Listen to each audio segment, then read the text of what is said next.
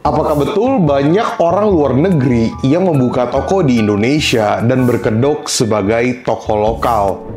Banyaknya produk-produk bersebaran di toko online shop yang murah terkadang membuat kita berpikir, ini kok bisa murah banget ya? Hitungan ongkirnya gimana? Material produknya gimana? Namun ternyata ada hal-hal yang tidak kita ketahui. Gue tau banget online shop itu terbagi atas beberapa tipikal seller dropshipper, reseller, distributor, pabrik, produksi, terus importir, ya, dan sebagainya lah ya. Import itu nggak salah sama sekali. Cuma terkadang yang membuat gue berpikir dan teman-teman di sini berpikir gimana itu orang-orang bisa menjual produk dengan harga yang murah-murah. Padahal mungkin kita impor, tapi kita nggak bisa mendapatkan harga modal semurah mereka. Kenapa bisa tahu? Karena dari harga jual mereka itu jauh lebih rendah daripada kita.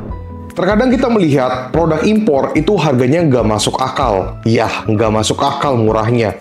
Terkadang membuat kita bingung, kok seller-seller ini bisa jual barang-barang impor murah-murah begitu ya? Padahal kita nego-nego nggak bisa dapat harga sekian. So, what's up guys? Welcome back with me, Rio Gandhi. Pada kesempatan kali ini gue pengen ngebahas mengenai orang luar negeri yang berkedok membuka toko di toko lokal. Namun ada juga sisi gelap yang pengen gue kasih tau kalian mengenai apa sih yang terjadi, kenapa mereka bisa menjual produk dengan sedemikian murahnya. Karena ini bakal jadi pembahasan yang seru banget dan akan ngebuka pikiran kalian tentunya. Jadi jangan lupa untuk like dulu video ini teman-teman. Gue tunggu sampai hitungan ketiga. Satu, dua, tiga. Thank you guys yang udah like. Langsung aja kita masuk ke topik utamanya lokal luar negeri versus lokal Indonesia. Tentu saja berbeda dengan kita yang lokal di sini dengan mereka yang lokal di negara mereka. Itu udah pasti berbeda. Ya, lokalnya udah pasti beda teman-teman ya. Kita sebagai orang lokal di Indonesia, kita bisa mendapatkan harga lebih murah kalau misalnya kita membeli produk di negara kita sendiri. Mereka pun sama. Ketika mereka datang ke sini, terus membeli barang di negara mereka sendiri dan bisa mendapatkan harga lebih murah, sudah pasti karena mereka adalah warga lokal di negaranya. Sudah pasti mereka bisa mendapatkan channel lebih murah, terus mungkin karena bahasanya, atau mungkin karena mukanya, wajahnya udah kelihatan orang lokal dari luar negeri dari negara mereka, sudah pasti bisa mendapatkan harga lebih murah daripada kita yang memang bukan warga lokalnya. Ya semoga kalian paham ya. Kita yang orang Indonesia, meskipun mau import produk, pasti bisa saja terjadi di mana kita tetap mendapatkan harga lebih mahal dibandingkan mereka. Karena kita bukan lokalnya di sana. Meskipun memang ada juga yang mendapatkan harga murah dengan kuantiti yang banyak sekali. Atau sudah terbiasa bekerja dengan pabrikan-pabrikan tersebut. Namun nggak bisa dipungkiri bahwa banyaknya orang luar negeri yang membuka toko di sini dan bisa menjual produk dengan murahnya. Bukan berarti kita itu nggak bisa mendapatkan harga lebih murah. Itu tetap bisa terjadi. Karena yang tadi gue bilang, mungkin kalian mengambil kuantiti lebih banyak. Mungkin dua kontainer atau mungkin dua mobil truk gede, itu mungkin bisa terjadi. Kalian mendapatkan harga lebih murah. Atau mungkin kalian sudah terbiasa bekerja sama dengan pabrikan tersebut. Ketika pabrikan tersebut ngeluarin produk baru, kalian bisa dikasih privilege kayak, nih cobain dulu produknya. Gue kasih langsung best price, itu bisa terjadi juga. Namun, banyak juga kejadian di mana ya Meskipun kalian sudah mengambil kuantiti yang banyak, meskipun kalian sudah kenal dengan pabriknya, tetap kalian tidak bisa mendapatkan lebih murah harganya. Karena ya, kembali lagi, kalian bukan lokalnya. Barang dijual murah, bukan hal tabu lagi di mana memang warga Indonesia, lebih tepatnya di online shop, itu secara permintaan barang murah itu jauh lebih besar dibandingkan barang yang harganya menengah ke atas secara permintaan itu luar biasa beda banget teman-teman. Barang-barang murah tuh lebih diminati, sedangkan barang menengah ke atas itu memang banyak juga permintaannya, tapi tidak sebanyak barang-barang murah. Banyak orang yang mencari barang-barang harga murah, hunter banget nih, bener-bener pengen dapat harga murah, produk yang sama pengen dapat harga yang paling murah, pokoknya dikit-dikit harus paling murah. Tapi jadi pertanyaan adalah, memang kalian nggak bertanya-tanya ya, kok harganya bisa murah seperti itu yang bahkan kadang tidak masuk akal. Memangnya kenapa? Karena banyaknya bayar di sini menginginkan harga murah, tapi mereka tidak peduli akan kualitas. Yang penting murah aja dulu, urusan bagus atau tidaknya tinggal dikasih bintang satu aja. Hahaha, gampang banget tuh kasih bintang satu. Kalian jangan salah ya, ini para seller dan customer terkadang kita melihat produk yang fotonya sama, tapi lebih murah bukan berarti produknya tersebut tuh sama. Gua nih, jujur, gue sering ngetesting. Baik ngetesting untuk nganalis dari si marketplace, atau gue ngebeli produknya untuk gue lihat produknya. Gue banyak banget nemuin perbedaan. Terkadang, foto produk sama, belum tentu produknya tuh sama.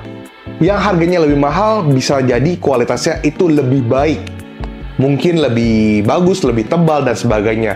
Sedangkan ada seller yang menjual dengan foto yang sama, tapi kualitasnya jauh berbeda. Mungkin gampang karatan, lebih ringan, atau mungkin gampang rusak, atau mungkin lebih tipis. Jadi, terkadang kita nggak bisa mematok suatu produk dari harga. Ya, jadi mungkin memang sama, fotonya sama, videonya sama, tapi kualitasnya jauh berbeda. Jadi kita harus berpikir juga sebagai seller dan customer Jangan sampai kita merasa, wah dia ngambil profitnya terlalu gede nih, yang padahal memang kualitasnya udah jelas berbeda. Ya, cuman kembali lagi, memang customer kebanyakan maunya yang murah-murah doang, tapi nggak mikir ke arah sana. Urusan kalau barangnya jelek tinggal dikasih bintang satu. Memang gue lihat banyak banget customer di online itu gampang banget kasih bintang satu. Gue nggak ngerti kadang. Gue kadang pernah melihat ada seller yang menjual baju harga 15.000, 18.000. Terus dikasih bintang satu katanya ini kenapa bahannya tipis banget. Itu kan udah pakai logika sebenarnya. Harga baju 18.000 itu gimana kualitasnya itu udah ketahuan. Gak mungkin harga 18.000 itu bahannya tebel. Itu aja sebenarnya udah gak logis. Harga bahan kainnya aja tuh udah berapa duit. Ongkosnya tuh udah berapa duit untuk si penjahit motong, ngejahit itu udah berapa duit? Lu jual di 18 ribu, itu kualitas seperti apa? Tapi dikasih bintang satu, gue masih sering banget ngeliat. Tapi ya rame-rame aja, penjualannya 10 ribu plus-plus. Jadi kan kayak agak mind blow ya. Persaingan tidak sehat. Mungkin untuk seller yang menjual produk impor terkadang kewalahan sendiri menghadapi hal seperti ini Ketika mencoba produk impor yang which is itu gak apa-apa banget, namun baru main satu bulan, tiba-tiba udah ada seller yang menjual produk sama, persis lagi samanya, terus dibanting harganya. Bahkan kadang dibantingnya nggak main-main, bukan beda 500 perak sampai 1000 rupiah. Kadang bisa beda 5000 sampai 10000. Loh kok bisa? Sama seperti yang gue jelaskan, di mana mereka menggunakan bahan yang berbeda tapi fotonya sama. Kadang kita jadi bingung kan, apakah kita harus menurunkan kualitas untuk bisa mengikuti harga pasaran? Tapi kayaknya ada rasa, duh, masa harus jual produk kualitas begini sih? Ya, tapi kan marketnya juga maunya begitu ya, yang murah-murah. Ingat ya para seller ya, gue nggak melarang dan nggak apa-apa banget untuk kalian tuh menjual produk dengan harga murah-murah. Itu nggak apa-apa banget. Dan itu hak kalian juga mau impor produk atau nggak, itu hak kalian. Cuma terkadang kita harus berpikir kayak, apakah kita harus menurunkan kualitas?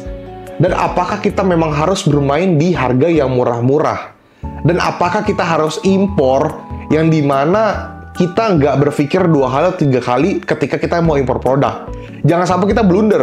Ketika kita udah impor produk, masih OTW ke sini, atau mungkin sudah sampai ke sini, nggak lama udah ada pemain yang menjual produk yang sama dengan harga yang jauh lebih murah. Jadinya dead stock deh. Jadi pesan dari gua, kita jangan terlalu gegabah untuk impor produk. Karena banyaknya pemain impor dan orang luar negeri yang membuka toko sebagai lokal, terkadang membuat stok kalian malah nggak jalan. Memang secara HPP atau modal, produk bisa berbeda jauh. Dan para customer memang mau carinya yang murah-murah. Tapi ya tetaplah ya masuk akal. Dan jangan tertipu juga nih untuk para customer itu ketika membeli suatu produk itu dilihat dari foto atau video yang ditampilkan. Karena bisa aja memang itu fotonya atau videonya sama tapi jelas berbeda. Contohnya blender listrik harga 20.000 sampai 30.000. Itu kan kayaknya agak mustahil ya. Mungkin ada seller yang menjual blender listrik tersebut di harga 80.000 sampai 100.000. Ya itu masih masuk akal lah, masih ada lah blender-blender yang harga segitu, cuman ya nggak sebagus yang ratusan ribu ya. Cuman kalau misalnya blender harga 20.000 sampai 30.000, lu nggak takut apa? Dan lu berpikir gak sih kayaknya memang nggak masuk akal gitu, kok blender harganya segini? Jadi nggak usah dikit-dikit maunya murah-murah. Toh nanti ujungnya gampang rusak dan sebagainya. Tetap berpikir logis dan ya lu mau beli barang, sesuaikanlah.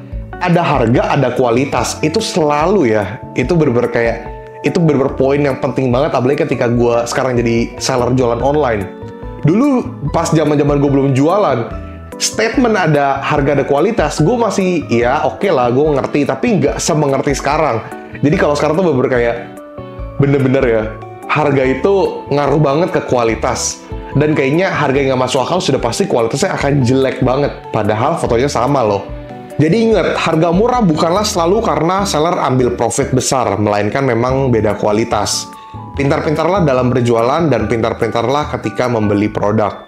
So guys, itulah yang pengen gue bahas mengenai sisi buruk, terus dark side lah ya, atau mungkin orang-orang luar negeri yang membuka toko di sini sebagai lokal. Jadi itu yang harus kalian ketahui, baik kalian adalah sebagai customer, baik kalian adalah sebagai seller, atau mungkin kalian yang baru pengen terjun ke dalam dunia bisnis online, itu harus kalian ketahui. Karena jujur waktu dulu-dulu gue baru-baru mulai jualan online, gue sih nggak tahu hal-hal seperti ini namanya masih pemain baru waktu itu dan masih tabu banget ya jadinya banyak hal-hal yang tidak gue ketahui. Makanya di sini gue pengen sharing ke kalian. Tujuannya adalah supaya kalian tahu bahwa dunia ini dunia bisnis online ini itu juga punya sisi gelap. Dan sebagai customer juga harus pintar lah. Jangan sampai dikit-dikit karena ada harga yang murah kalian merasa bahwa memang itu harganya murah. Agak berbahaya sebenarnya ya Oke guys, semoga video ini dapat membantu kalian dan menambahkan insight baru, terus kebuka mindset kalian biar kalian lebih pintar dalam berjualan, lebih bijak juga dalam membeli suatu produk. Dan jangan dikit-dikit kasih bintang satu. Ingat, harus yang logis. Lu kasih bintang satu, kalau misalnya emang lu beli harga produk murah, kualitasnya ya begitu, ya sudah sewajarnya ya teman-teman ya. Kecuali barangnya rusak, itu baru. Atau mungkin memang bener-bener gak sesuai sama fotonya, itu barulah boleh. Oke guys, segitu aja. Semoga membantu kalian. Kalau kalian ada pertanyaan, silahkan komen aja. Atau pengen berdiskusi, silahkan komen. Bebas, siapa pun boleh komen. Dan di sini kita open-minded, gak usah marah-marah. Boleh beropini, tapi jangan menyudutkan orang lain. Jadi ya, welcome-welcome aja. Sekali lagi gue ucapkan jangan lupa like, comment, dan subscribe. Rio Gandhi, Peace out.